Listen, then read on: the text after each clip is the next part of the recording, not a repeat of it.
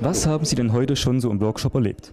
Wir hatten heute im Workshop oder beziehungsweise unser Workshop geht ja zum Thema Kommunikation. Ähm, unsere Teilnehmer haben äh, heute gelernt, wie man dieses Thema spielerisch ähm, erarbeiten kann. Wir haben ganz, ganz viele ähm, Spiele der unterschiedlichsten Art gemacht, unter anderem Steinsortiment. Ähm, hier ist es einfach nur wichtig, dass die Gruppe untereinander kommuniziert da ganz, ganz viel ähm, auch für sich selber später mal mitnimmt. Ähm, ja, das waren so momentan die Hauptinhalte. Also es geht ganz viel um Sinne, um Wahrnehmung.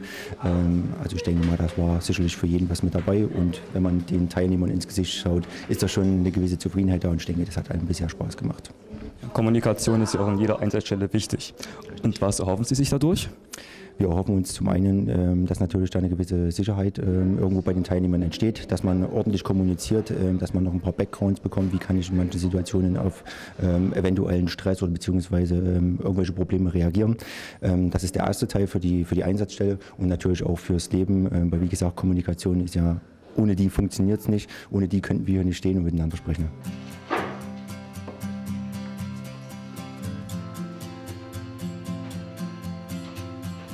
Also mein Workshop soll angeboten werden in erster Linie Yoga und in zweiter Linie, das impliziert ja das Yoga, äh, soll eine Art Entspannung, Tiefenentspannung angeboten werden.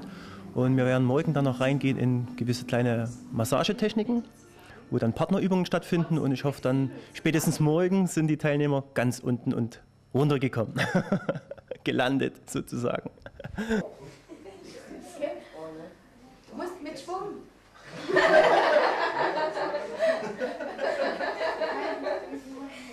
Schön halten, es zieht schon rein. Wir wollen uns mit Musik beschäftigen. Musik in der sozialen Arbeit kann man sagen. Äh, wir haben verschiedene Dinge, die wir erproben wollen.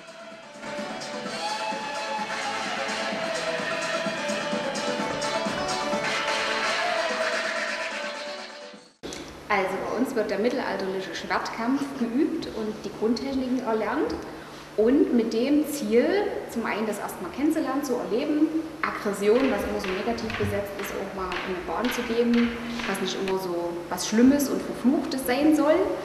Und die Teilnehmer sollen sich insbesondere darüber im Klaren werden, wofür sie im Leben gerade kämpfen, wofür es sich lohnt zu kämpfen und wovor man sich auch schützen sollte.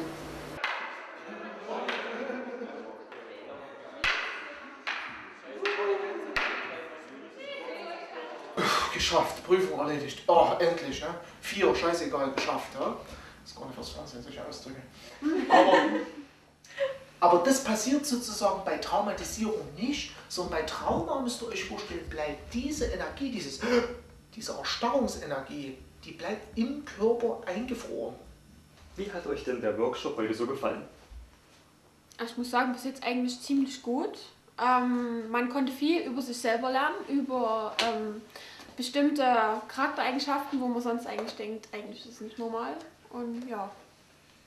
Ja, und wir sind eine relativ kleine Gruppe, deswegen verstehen wir uns auch alle sehr gut und man hat halt auch einfach keine Probleme, offen seine Meinung zu sagen.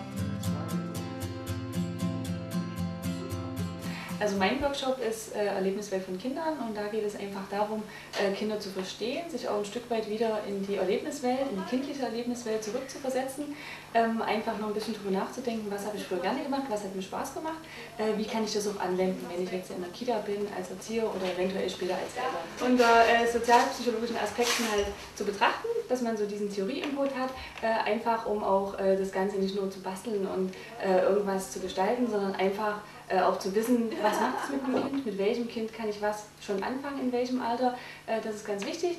Und äh, zum Schluss soll in unserem Workshop noch ein kleines Spiel entstehen, äh, wo so kleine Gruppen einfach äh, mal unter den theoretischen Aspekten und den ganzen praktischen Dingen äh, zusammentragen sollen, was haben sie mitgenommen. Motorrad, Motorrad, Motorrad.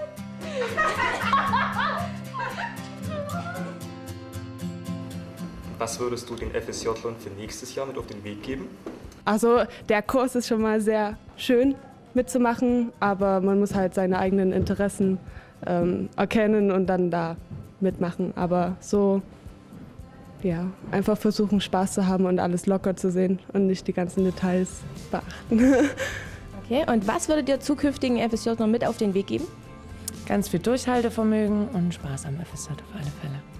Okay, und du? Ähm, dass man nicht das Einfachste machen soll, was einem gerade so zufällt, sondern das, was einem auch voranbringt. Was würdest du deinen zukünftigen Nachfolgern mit auf den Weg geben? Ich bin zum Beispiel an die ganzen Seminare rangegangen, so wie, okay, das wird Beschäftigungstherapie pur. Aber ähm, den Gedanken soll man so gut wie es geht ein bisschen verdrängen, weil die Seminare doch eigentlich ähm, uns als Freiwillige zusammenschweißen. Okay, und was würdet ihr zukünftigen FSJ mit auf den Weg geben? Macht Schwertkampf. Ja, macht Schwertkampf. Fett.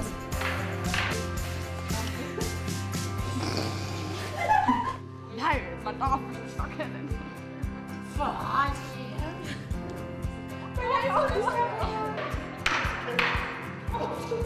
Ich greife an!